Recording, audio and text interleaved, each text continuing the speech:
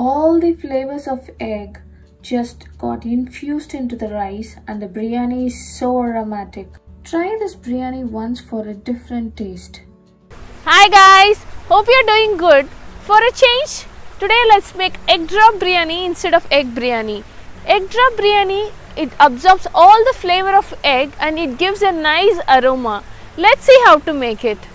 Let's see the ingredients required. 1 big onion, 1 tomato, 2 raw eggs, 1 and a half cups of basmati rice, 1 handful of mint and coriander leaves, 1 ginger, 2 garlic buds, 2 green chilies, half a cup of yogurt, 1 teaspoon turmeric powder, 1 and a half teaspoon coriander powder, 1 teaspoon red chili powder, 1 teaspoon garam masala, 1 bay leaf. Take a mixer grinder, add the green chili, garlic and ginger, add coriander and mint leaves.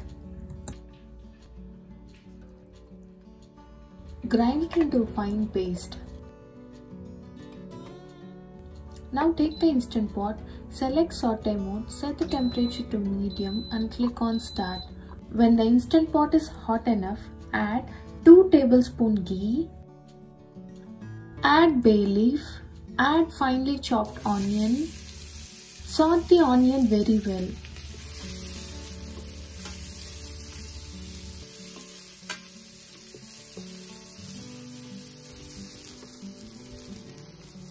Now add tomato. Saute the tomato until it's mushy.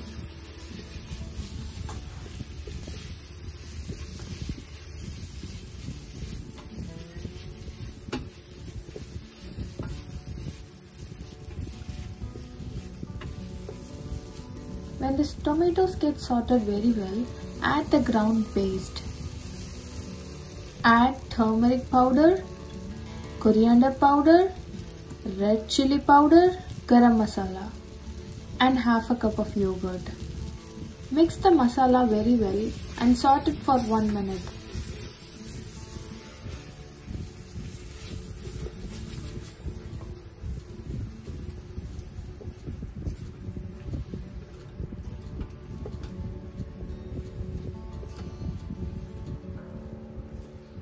When the raw smell of the paste goes away, add the rice.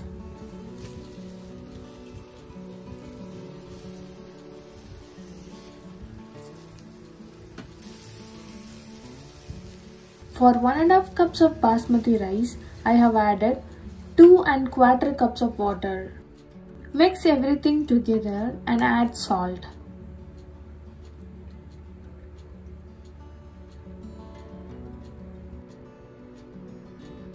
Now take the egg, crack it open and carefully drop it on top of the rice. Be very gentle.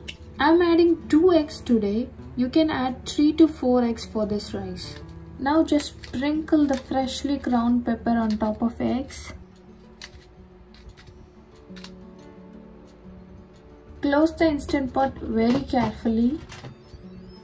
Now select the pressure cook mode, set the timer to 5 minutes and click on start. When it's done, wait for the pressure to release naturally and then open the instant pot. Let's see how our egg drop biryani has turned out. Wow, I can smell the eggs. That's it, our egg drop biryani is ready.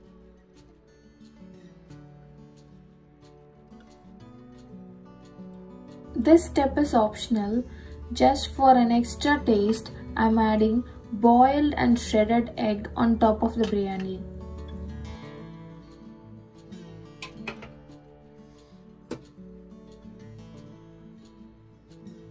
We can serve it with raita.